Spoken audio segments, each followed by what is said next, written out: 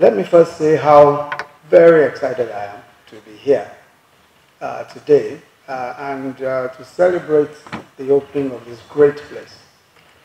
Uh, these two gentlemen, uh, Kunmi and Bunmi, I have sort of worked with them over the years, very, very many years. Of course, long before I became vice president and long before they became wealthy and successful. but I think we have at least uh, managed to encourage ourselves as we went along, and I'm really pleased to see the birth of this new place. So we're here today to commission the Vibranium Valley, a place devoted to talent, innovation, data, and entrepreneurship. A bold idea birthed in the hearts of two young Nigerians and audaciously delivered by a team of over a hundred other young Nigerians. We're told that the Vibranium Valley houses 30 tech companies with the potential to house up to 50 more, 50 companies, and that it is the largest technology campus in sub-Saharan Africa. But perhaps what lies in the subtext of that story is how crucial this is to our dream of an economic future as a nation. So here we have a metaphor for our future, a foreshadow of a glorious new day, whereby the sheer God-given talent, creativity, hard work, and knowledge, phenomenal value and prosperity are built, not just for the entrepreneurs, but for the millions whom they provide services and for this nation which has given them the opportunity. The founders of this amazing technology campus, Kunmi Demuren and Bunmi Akinyemiju, deserve our commendation for this, not just for this, but also for the past.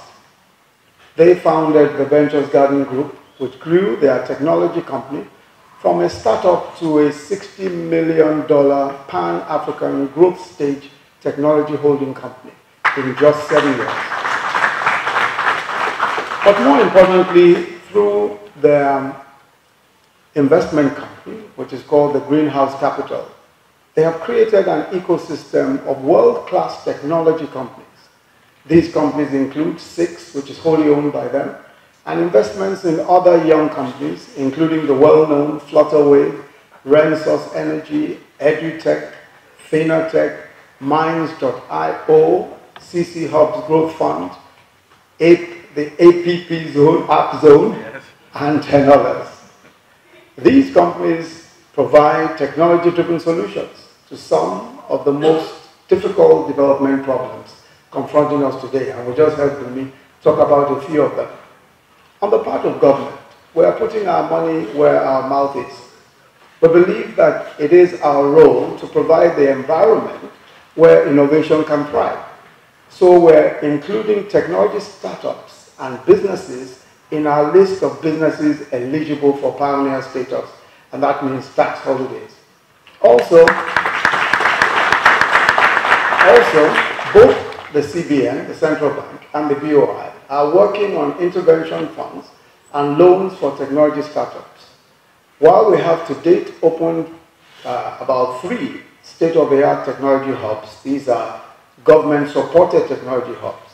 Two weeks ago, I was in Yola to open the Northeast Humanitarian Technology Hub, which specializes in innovation for victims of conflict. There, I saw the 3D printing of prostheses or artificial limbs won an artificial arm for a 12-year-old boy, Mohammed. And with his new arm, he can now write. He can actually write, he can open doors with his new arm. All created in that technology hub. Only last Friday, I opened the South-South Innovation Hub in Benin, Edo State.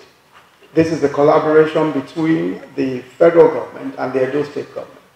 And there I listened to 12 outstanding pitches by potential innovators and, and uh, technology companies. Next month, I'll be opening the Climate Change Technology Hub at the Pan-African University, a collaboration between the federal government and that university. Later today, as a matter of fact, as we leave here, I'll be in, at the University of Lagos to lay the foundation of an innovation hub, and, and this innovation hub is also supported by the federal government, and launch the Students Innovation Challenge. And last week, we inaugurated the Technology and Creativity Working Group. Now, this working group is part of our Industrial and Competitiveness Advisory Council. It's a group of young tech innovators and entertainment entrepreneurs who will help government to develop policies that will shape the future of technology and entertainment. We're committed to playing a pivotal role in, in defining and, in defining the future for both technology, for creativity and business generally, but also in ensuring that government is a facilitator, not an obstacle to business. But ladies and gentlemen, there is also here in this place the hand of providence. And I believe that we must recognize it. In this place, this place where we are today, for many years housed the Concord Press, a once highly successful national newspaper owned by Chief M.K.O. Abiola, GCFR, posthumous,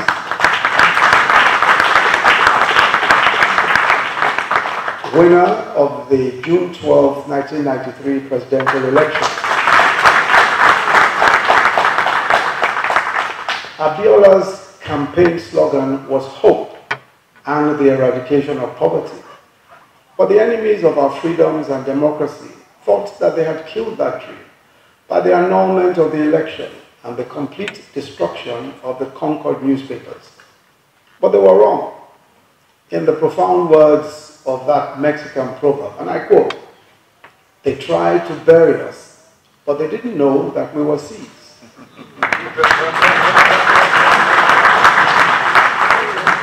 so when we thought you had buried us, they did not know that the seeds will grow. Today we celebrate the trees that have grown from the seeds that were buried here. The hope, the hope that they thought they killed has risen again through the young men and women not even born, some not even born, when that travesty was committed. So Concord was only the foundation for Vibranium. No one, no one can stop the inexorable march of hope. We're grateful to God that we're witnesses today to the full cycle of history. And so it's now my special privilege to formally open this great place of innovation and creativity for a new generation of young men and women who carry with them the hope and aspirations of a nation, Vibranium, built for the benefit of the Nigerian people and to the glory of God. Thank you.